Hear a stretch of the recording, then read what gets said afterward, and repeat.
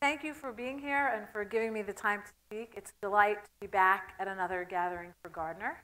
And it's especially nice to follow Jim, I'm a dear friend. What I want to talk about is a mathematical tiling called a Truchet tiling that we've had a lot of fun with at the and this tiling was first designed by Sebastian Truchet back in the early 1700s. Interesting thing about Truchet is that he's also the creator of the point system that we still use today to measure the size of fonts. But in this tiling, it was a square tiling, and the square is basically broken into two triangles. You can see one is white and one is black. There's four different orientations, so you can make a lot of really neat designs. But nobody really paid too much attention to this until a scientist named Cyril Smith got involved. Now, Smith was actually known as a scientist at Los Alamos who worked on the Manhattan Project. But as a little side interest, he developed a variation of the Truchet tiling that just involved two circular arcs at opposite corners of the square. And he played with those a little bit as part of studying crystallography and the structure of crystals. But now we jump a few years further uh, to a fellow named David Reimann, who decided to color those tiles. Here's an example of a coloring in blue and red. You'll see why in a few minutes. But you can see we end up then with two tiles. One of them has red circles in the corner, the other has blue circles in the corner.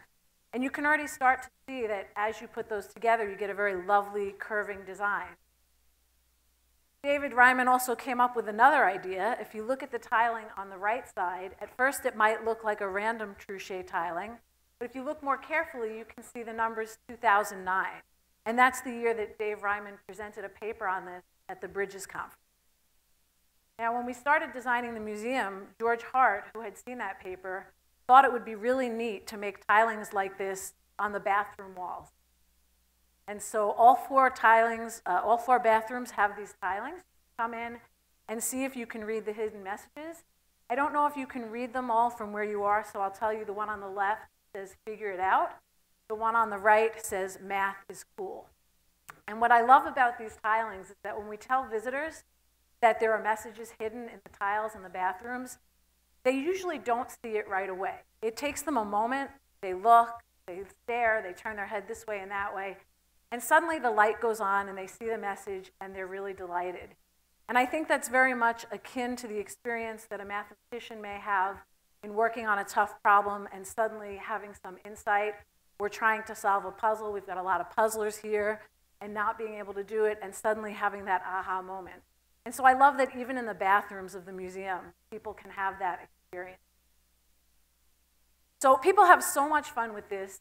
We were doing a fundraiser that was right before the 2016 election. It was actually an election-themed gala.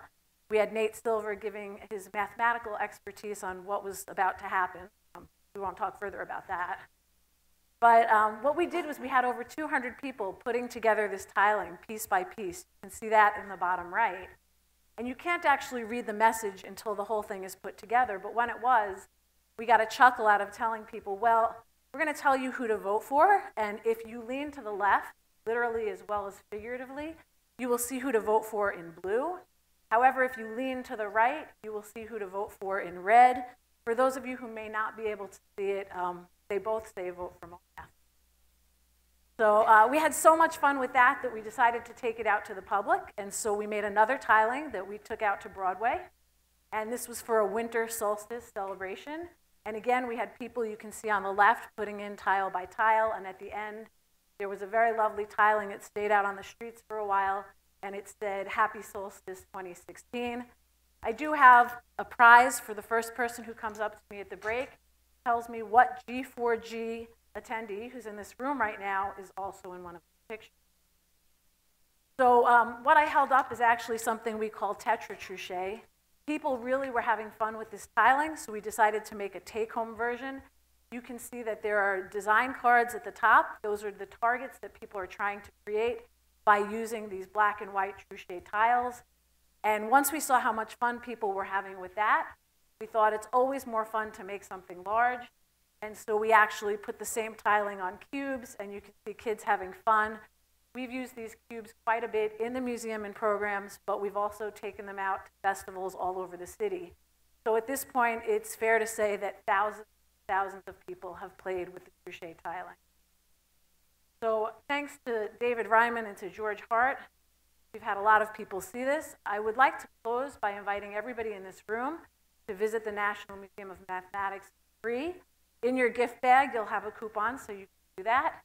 And I have one final message embedded in the bottom in a Truchet tiling.